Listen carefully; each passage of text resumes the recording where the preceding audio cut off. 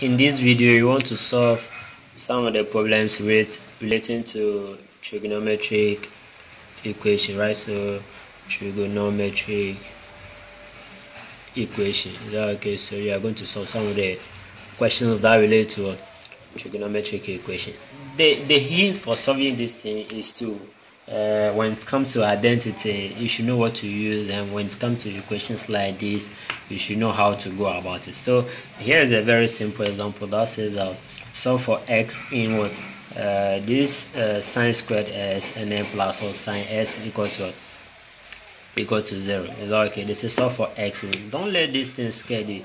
This is similar to something like uh, if you have a question like let's say a squared uh, plus a uh, equal to zero right? How do you solve this right? How do you solve this here we can start to factor the a out. Here we be left with a and then plus one right? So meaning we are bringing one of these a out. Okay here we left it with a and then here we are going to left it with one.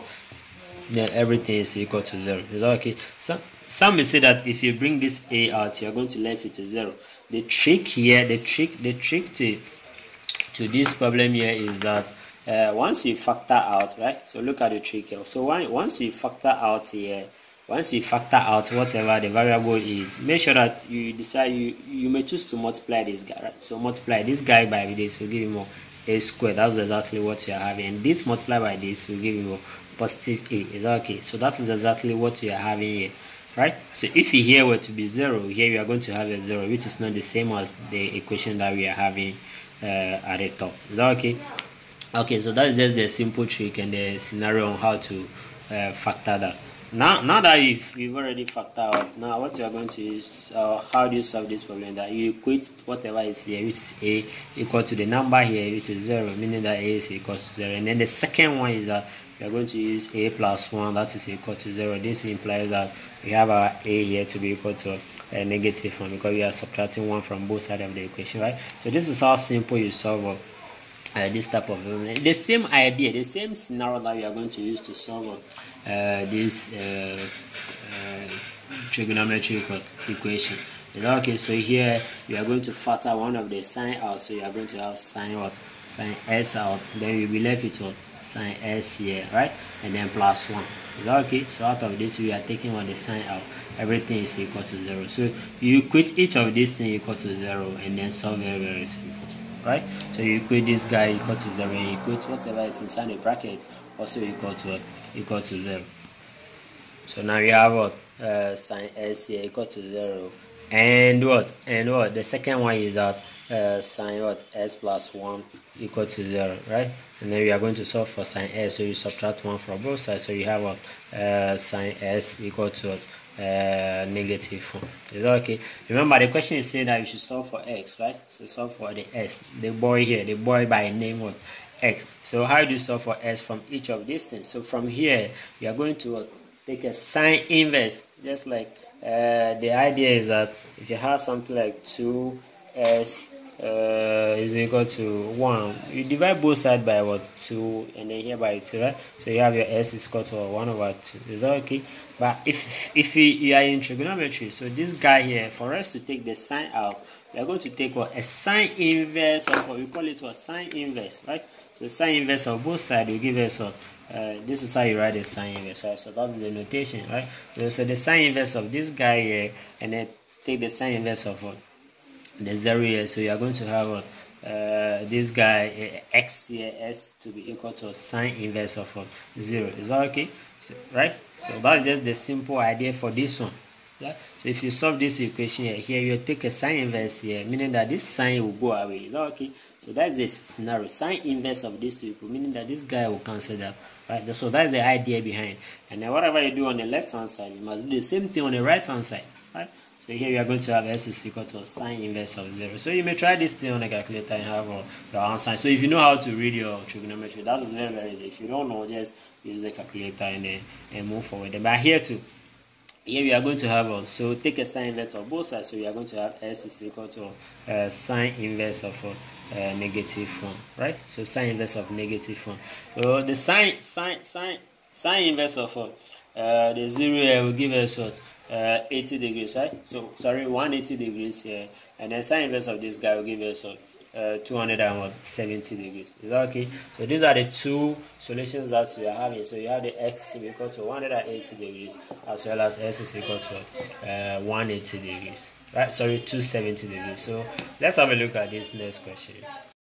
So this is another question that says that if you have two sine squared theta, right? So this guy is just a theta is equal to one plus cos theta. Is that okay? So don't let don't worry about this thing at all. So what you know earlier on is that this can be any variable, right? So you can rewrite this thing to be so look at this guy to be any variable. Let's say x squared here, right? So because of the square, so you have what 2x squared that is equal to what 1 plus what this is another variable so let's say plus what plus y is that okay and then uh, just just for understanding purpose right? So this is just for understanding people. Now here here in trigonometry what that they are asking us to find? That they want to find this theta right? So you want to find the theta here. This guy is a theta. And we were told that the guy by name theta cannot go beyond what uh, 90 years. Is that okay? So you can be from uh, uh, 0 to uh, 90 90 years of age. Does it make sense? So 0 to 9. You cannot go beyond this, right? You cannot go beyond. You cannot be less than 0. You cannot uh, also go beyond 90 days. That is the condition. So two ways of solving a trigonometry. The idea is that the one that you solve first one just requires some little algebra, right? So just simple scenario. But here you are going to have a tool that called a trigonometric identity, right? So, so trigonometric identity. Which identity are you supposed to use to arrive at what your solution? Okay, so the identities that we are going to use here, the identities are not nothing, but they are just some of the tools that we use to solve a trigonometry, right? So the identity that we are going to use here is what uh, uh, uh, we have the uh, sine, sine. So let me change the, the pen here. We have what uh, we have sine, sine squared, maybe theta or s. So here we are using theta. So let's use theta plus of uh, cos squared cos squared theta rather is equal to 1 is okay. This is identity. The meaning of the identity is that they are tools that we can easily use and apply them in solving our problem right? So here all right the reason why we are using this thing is of we can see sine squared here. Is okay. Sine squared theta. So this theta can be s or can be any variable right? So here sine squared theta is that okay? So that's why we are using this identity. So you have to know some of the identity relating to what the trigonometry. If you want to know more about the identity, make sure that you comment down below. Is that okay? So if you enjoyed this video, don't forget to give us a thumbs up and subscribe to the channel for more videos like this. Okay, so this is the guy that gives us what the idea about this is what uh, we are going to use something, the identity that relates to sine square theta plus of cos square theta is equal to 1. This is just an identity, a definition that you just need to apply. There's no need for you to prove this thing under uh, this, this, this question here. Okay. Now you have you, you can only see a sine square theta here. So you have to make the sine square theta the subject over here. So let's make the sine square stand alone on one side. That is equal to 1 minus cos of uh, cos squared and uh, theta. Is that okay? So because it's only sine square that we are seeing here, right? So it's only sine square that we are seeing here. So here, meaning that whatever we see the sine square here, we are going to replace that by what? Uh, 1 minus what? Cos squared and theta, right? So we are seeing sine squared here, right? Sine squared theta. So let's replace that by what? Uh, uh, 1 minus what? Cos squared and then theta. So here we are going to have 2. Our 2 is there. And then into bracket, we have uh, this guy here to be what? The sine square which is what? Uh, 1 minus what? Cos squared and then theta. Is that okay? So that's the replacement that we are doing. We are just replacing which is equal to equal to what? And then 1 plus what? Cos what? Cos theta. We are not doing anything just that we are doing what? Replacing this guy is that okay? The idea the reason why we are placing the cos the sine squared here is that we want everything to be in one uniform. What I mean by the one uniform here is that we have a cos here, so you can see that once I made a replacement, everything has turned to be a cos. I can see a cos here, I can see another one cos here. So what are we are going to do? We are going to expand this bracket. So 2 multiplied by this one will give us 2, right? So by, by this you get this multiplied by you give us a negative 2 cos of square theta. That is equal to 1 plus of uh, cos theta. Okay? So let's send everything to the uh, left hand side, right? So we are solving. Remember, the question is asking us to find what uh, theta. So once you have everybody to be in one uniform, you can easily determine what their ages. So here you have a two minus a two cos squared theta, yeah, minus one, and then what minus what cos theta that is equal to zero. So we are sending everything to uh, the left hand side. So there you just need to solve uh, this thing. So make sure that you try, just try this, you try this and pause the video and come back and come and check the solution. So the way to rewrite this thing is that we are going to use the concept of what? Uh, uh, uh, quadratic, right? So something called a quadratic equation. Also something that we know how to solve, right? So you have what? Uh, a quadratic uh, equation, right? So you have a quadratic equation. This is something that we know how to solve, right? If you don't know how to solve this thing, just comment down below or subscribe to the channel and check our playlist on this thing. Okay, now how, how, how does that thing looks like? The quadratic equation looks like, so let's rearrange this guy. Here you have a number here, a number here. So let's then all of them come together. So we are going to have a negative 2 cos square theta, right? This guy first, and then followed by your brother, which is a negative 4 cos of theta here yeah? So we are going to left it what uh, this number here which is a, positive 2 and then here is also negative what 1 right? We are not doing anything we are just uh, rearranging everything here right? So once you rearrange here we are going to have a negative 2 cos of square theta here and then minus of cos theta here. This guy plus this one give us a positive one so everything uh, is equal to zero. Is that okay so everything is equal to zero.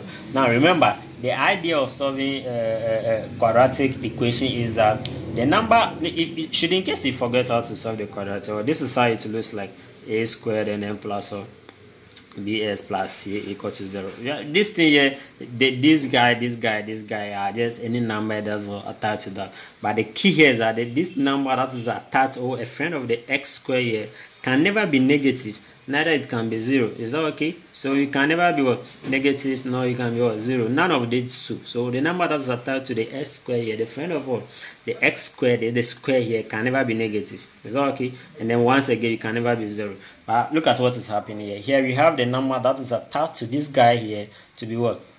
Uh, uh, negative. Okay first of all you may you may choose to replace this guy. So you can say that let a is equal to uh, cos cos theta, right? So A is equal to cos theta. The reason why we are doing these things that we want to see the quadratic equation, right? Or maybe you consider let x. So that's something familiar that we know. So let x is equal to cos s, uh, cos theta. So wherever you see the, uh, how do you call it, uh, cos theta, we are going to replace that by by s or you maybe consider replace right so that's just a simple way to understand so you can say what we replace here so replace s equal to what cos theta or replace cos theta by s whichever way. So whatever you see the cos theta you are going to replace that by what x. So we have a negative 2 right? So negative 2 uh, cos squared theta meaning that we are going to have s squared right? So s squared and here is a minus of x and then plus 1 equal to equal to 0 this is exactly the emphasis i was what